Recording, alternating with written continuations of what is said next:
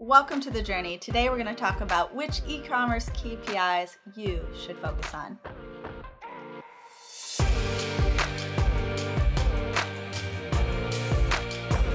So, when you first launch your e commerce business, most of your time and your resources will go into setting up the site and facilitating orders. However, as you get more comfortable, which you will, you'll want to start focusing on how to optimize and improve your e-commerce store. And that is where e-commerce KPIs come into play.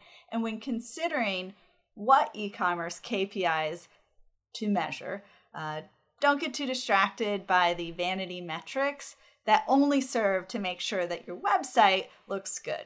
Let's go through our top five key performance indicators that you should be focusing on.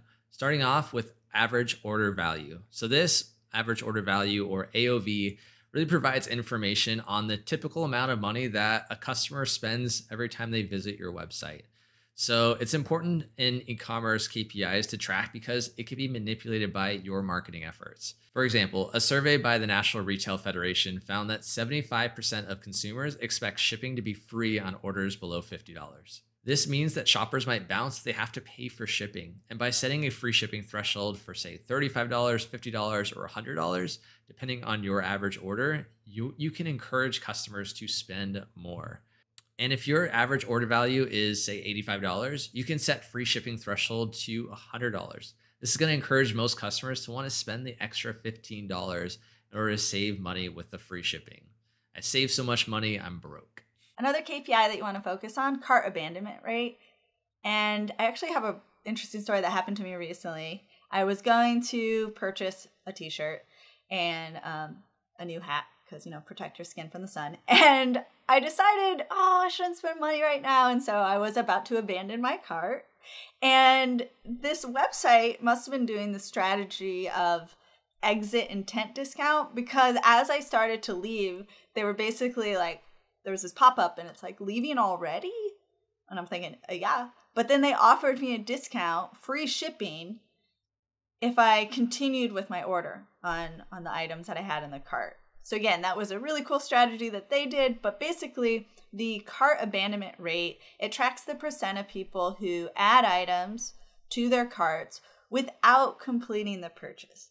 And this number varies by website, it also varies by industry, but the universal average for 2020 is 69.57%, so about 70%.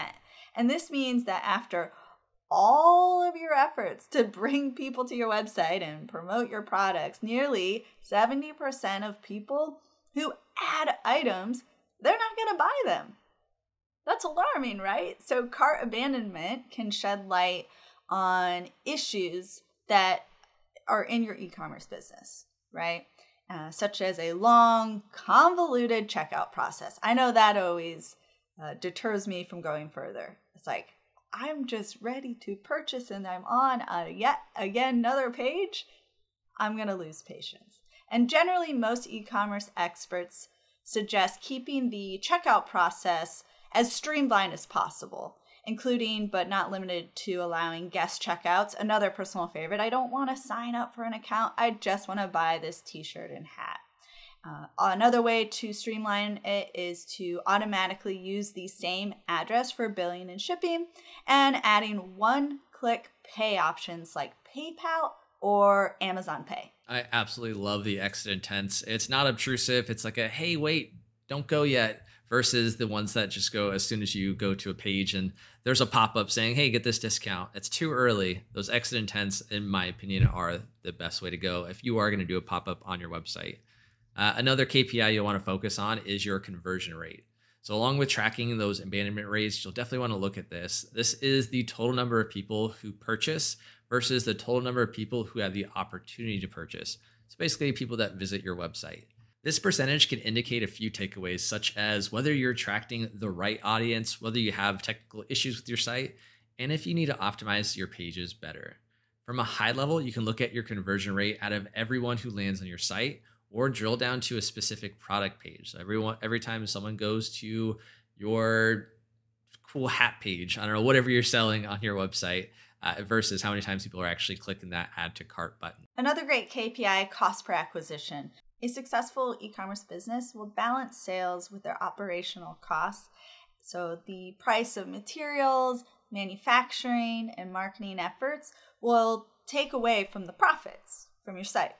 Makes sense, right? And at the highest level, you want to take your total marketing cost for the month and then divide it by the number of sales over the same period. And if your site spends, let's just throw out a number, $2,000 in marketing and attracts 100 customers, then your CPA is 20 bucks. And CPA is an e commerce KPI that is often broken down by marketing channel. So let's say, for example, you're curious about making a marketing investment in Twitter versus Instagram. Which one, right? Well, then you should look at the CPA. And our last KPI that you'll want to focus on, especially as you start growing as an e commerce business, is customer lifetime value. The easiest way to track this metric is to take your average order value and multiply it by the number of customer visits per year and their average time spent with your company. So every company has its own unique customer lifetime value. Bookstores and clothing retailers might get visitors monthly, while a car dealership only might see their customer once a decade. But that customer lifetime value will help when tracking your cost per acquisition. And at first, it might not seem profitable for that coffee shop to spend $30 to get a $7 customer. But if you're like me and you spend most of your life in a coffee shop, that loyalty can pay off in droves. And he's not kidding about spending most of his time in a coffee shop. I feel like every time I see Neely, he's holding a coffee cup. But, anyways, once you have an idea for which e commerce KPIs are the most important to monitor the health of your site, simply develop a process to check them regularly.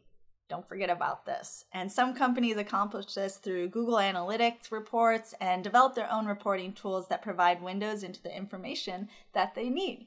So test different views so you can get the most value from your data. And remember, tracking and measuring e-commerce KPIs, it's just the first step.